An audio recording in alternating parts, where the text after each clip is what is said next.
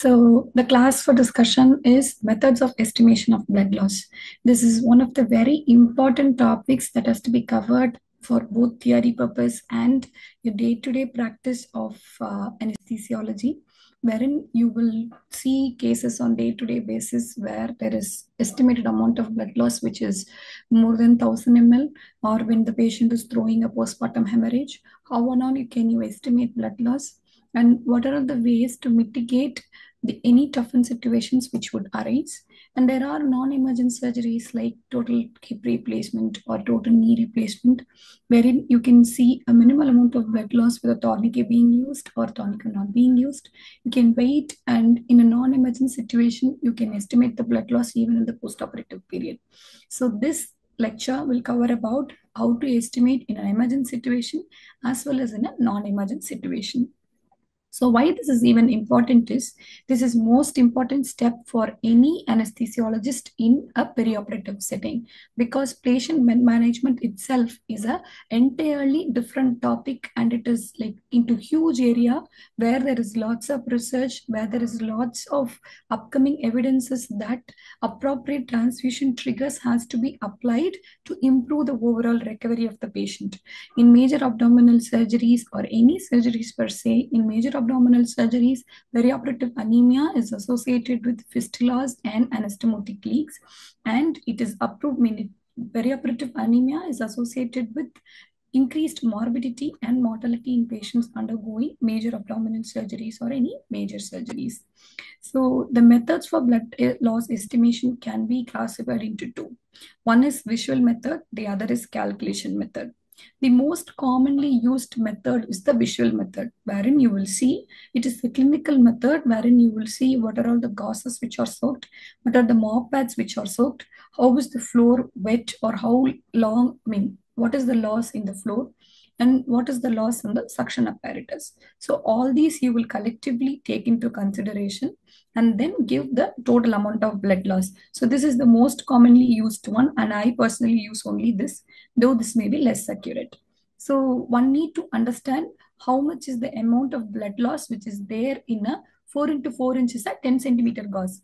If it is very partially soaked, it is 2.5 ml. If it is completely soaked, it is 10 ml. Suppose if it is a 6 into 18 inch uh, laparotomy mop pad, then very partially soaked is 25 ml, half soaked is 75 ml, completely soaked will be 130 ml. If it is a laparotomy mop pad of 18 into 18 inch, completely soaked will be 160 ml. So that is how we estimate a blood loss in any acute setting. So if it is partially soaked gauze, it may be 5 ml, completely soaked it is 10 ml. If it is a laparotomy sponge pad, if it is partially soaked, it is 75 ml. Completely soaked is 130 ml. But the one which they will use to pack the abdomen with, then if it is completely soaked, it is 160 ml. So again, the same thing. So if it, uh, it is in centimeters, if it is a 10 into 10 centimeters gauze, then the completely soaked will be 10 to 12 ml. If it is 30 centimeters uh, mop pad, it is 100 ml. It is 45 centimeters, it is 160 ml. Each of these centers will use different uh, ways of cutting their gauzes. So you need to find out whether it is 10 to 10 or 13 to 30 in your setup to estimate the blood loss in an effective way. The next is the visual estimation for a PPH. If it is confined only to floor, then it may be attributing to 1000 ml. If it is confined to a 50 centimeter diameter, then the blood loss is somewhere around 500 ml. And if it is confined to 75 centimeters, then it is 1000 ml. If it is confined to like one meter distance, then it is a 1500 ml of blood loss. And one should not forget that under uh, buttock drape that is used in cesarean section patients in our hospital as well. So when it is completely soaked uh, under the patient, that can attribute to around 350 ml of blood loss. If it is partially soaked, then it is 180 ml of blood loss. So this is the visual estimation. So what are the disadvantages of visual estimation is it is less accurate. Whenever you compare with other standard methods like hemoglobin estimation methods, this visual estimation methods always than not underestimates the amount of blood loss.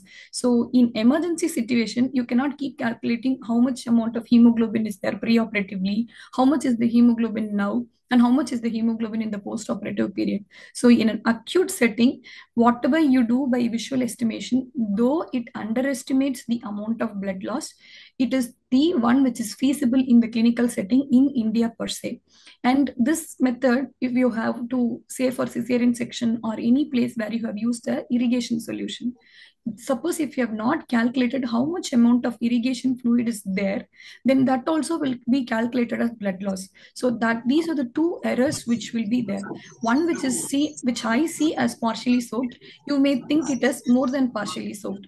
Though these interpersonal variations is always there in visual estimation and whatever irrigation fluid or amniotic fluid which you use you cannot differentiate between amniotic fluid or bile leak and the uh, blood which is leaked. So that is the disadvantages of visual analog method visual method. So this is another visual method which is the used in emergencies alone. It is uh, it is most commonly called as the MAR method. So what you have to do is basically close your uh, keep a clenched fist with palm up covering the pool of blood. All you have to do is Mukta can you move mute others खत्म कर दिए तुमने तो ये क्या ice cream है पानी इतना ही थे Okay, so this visual, uh, this is also a visual estimation wherein you will keep a closed fist uh, placed just two inches above the bed pool. More than two inches, you may cover more amount of areas that may lead to decreased uh, estimation of blood loss.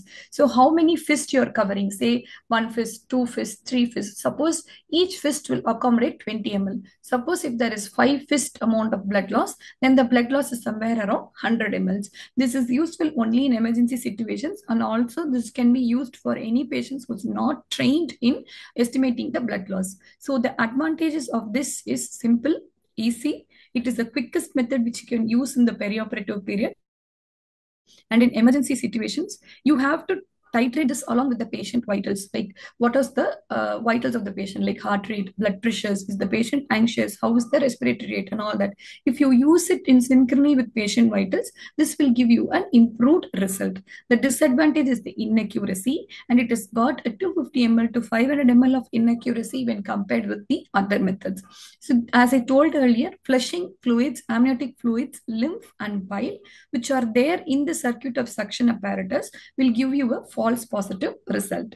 So the second one is the calculation method. In calculation method, you've got so much amount, like so many methods wherein first one is the weighing calculation. Second is the concentration calculation, colorimetric method, hematocrit method, hemoglobin calculation. In hemoglobin calculation, you have two formulas. One is hemoglobin mass and the other is hemoglobin dilution. So weighing method, it is as simple as that. It was developed by Wangensteen. What you do is preoperatively weigh all the mop pads, gauze piece, laparotomy sponge pads, everything before surgery. And you see how much amount of irrigation fluid you are using. So you have to weigh it pre-operatively as well as post-operatively. So what was devised is based on the normal density of the blood, one gram of weight will lead to one ml of blood absorption. So if pre-operatively it was 100 grams and post-operatively if it is weighing 200 grams, it means the blood loss is somewhere around 100 ml. So what is the total amount of blood loss is total weight of gauze after surgery minus total weight of gauze before surgery plus the amount of fluid in the suction bucket minus the weight of the flushing fluid. You have to weigh the flushing fluid. Suppose if you are giving one liters of normal saline, you have to weigh the one liter of normal saline and subtract it, it from the total amount of the gauze and the amount of fluid in the suction apparatus. So the amount of fluid in the suction apparatus also has to be weighed, not in the ml. So everything is in grams. That will give you the total amount of blood loss in ml because we assume that based on the density of blood, one gram weight will be equal to one ml of blood.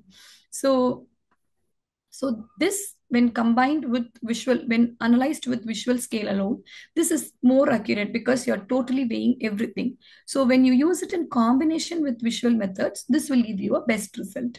The disadvantages is you, for a given hematocrit, whatever that was there in an ideal patient, one gram weight of the uh, blood will be equal to 1 ml of blood. But the density keeps on varying depending upon hematocrit of the patient. And perioperative period is very notorious for differences in hematocrits. So this is one of the disadvantage. One gram of weight will not